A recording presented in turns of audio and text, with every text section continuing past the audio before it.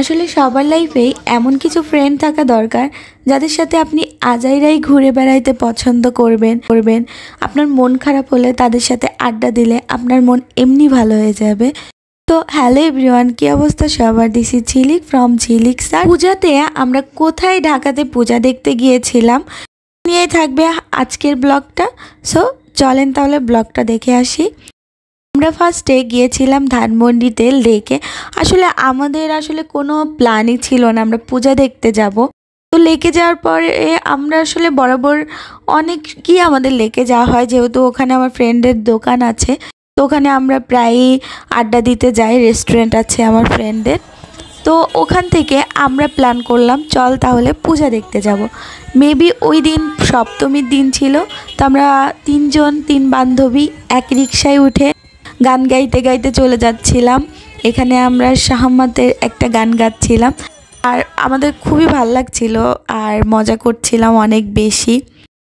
তো যাওয়ার পরে ফার্স্টে এই যে এই মেট্রো রেলটা শাহবাগে করেছে, আমরা শাহবাগ চলে গিয়েছিলাম। রমনার যে পূজাটা হয়, অনেক বড় পূজা, ওইটা দেখার জন্য। যাওয়ার আগে আমরা একটু টিএসসিতে গিয়েছিলাম। তো টিএসসিতে যাওয়ার পরে এইখানে যে আপনার লাইব্রেরি আছে, ঢাকা ইউনিভার্সিটির যে লাইব্রেরি আছে, ওখানে দেখলাম কনসার্ট হচ্ছে। তো আমাদের দেখে মনটা এমনিতেই ভালো হয়ে গেল। একটু ভাবলাম তাহলে কনসার্ট শুনি দেন আমরা পূজা দেখতে যাব। তো এত বেশি গরম ছিল, আসলে পূজার সময় অনেক বেশি গরম পড়ছিল কয়েকদিন। তো আমরা একটা গান শুনেছিলাম, যেহেতু গান আসলে আমরা যখন গিয়েছিলাম তখন আসলে গানটা বন্ধ করে দিয়েছিলাম আমরা অনেকক্ষণ ওয়েট করার পরে দেন আবার সিঙ্গার আসে গান স্টার্ট হয়। তো আমরা একটা গান শুনে আমাদের অলরেডি আটটা বেজে গিয়েছিল এই জন্য চলে আসলাম। এই যে আসার পরে এই কাজটা দেখে ভালো লাগছিল। আর এই বোর্ডটাতে আপনি যা, আপনার মনে যা ইচ্ছা তাই লিখতে পারবেন। অনেকে অনেক কিছু লিখছিল, আমিও লিখছিলাম। যে আমার বান্ধবীও লিখছে। তো এরকম লিখে দেন আমরা পূজা দেখতে চলে গেলাম। পূজা দেখতে আমরা রমনার যে পূজাটা ছিল, মন্দিরটা, ওখানে চলে গেলাম। আর হিন্দুদের পূজা মানেই তো অনেক রকমের মিষ্টি থাকবে, তারপরে অনেক রকমের খুরমা থাকবে, নিমকি থাকবে। এই যে এই পূজার এই মানে পাত্রগুলো আমার খুবই ভালো লাগছিল, ছোট ছোট স্টিলের পাত্র। দেন আমরা পূজা মণ্ডপের ভিতরে ঢুকে গেলাম ঠাকুর দেখার জন্য। যেহেতু আমরা ষষ্ঠীর বা সপ্তমীর দিন গিয়েছিলাম, ঠাকুরটাকে এখনও পারফেক্টলি সাজানো হয়নি। এই জন্য আমরা ওখান থেকে চলে এলাম। আসার পরে আমি আমার ফ্রেন্ডকে বলছিলাম, তুমি আমাকে একটু পিছন থেকে ভিডিও করে দাও। ও আমার পিছন থেকে একটা শ্যুট নিল। দেন এই বৌদ্ধ মন্দির মানে মূর্তিটা দেখছিলাম সরি মন্দির বলে ফেলেছি।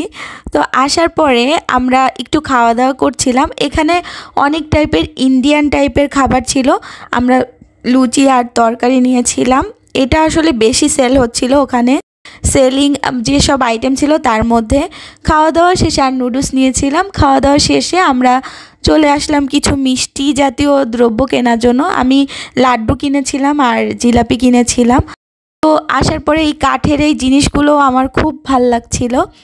তো পূজা মণ্ডপ থেকে বের হওয়ার পরে আমরা চায়ের দোকানে চলে এলাম চা খাওয়ার জন্য। যেহেতু আমরা তিনজনই অনেক বেশি চা খোর আনফর্চুনেটলি আমরা চা মামার দোকানে গিয়ে কোনো চাই পাই না। এই জন্য মনের দুঃখে রমনা পার্কের পাশ দিয়ে হেঁটে হেঁটে আমরা নীলক্ষেত চলে গিয়েছিলাম। নীলক্ষেত গিয়েছিলাম, আমার আসলে ওখান থেকে গিফট ব্যাগ কেনার ছিল। এই জন্য আমার ফ্রেন্ড আমাকে গিফট ব্যাগ চয়েস করে দিচ্ছিল। গিফট ব্যাগ কেনার পরে আমি বাসার উদ্দেশ্যে রওনা দিলাম। আমার এই দিনটা আসলে অনেক ভালো কেটেছে।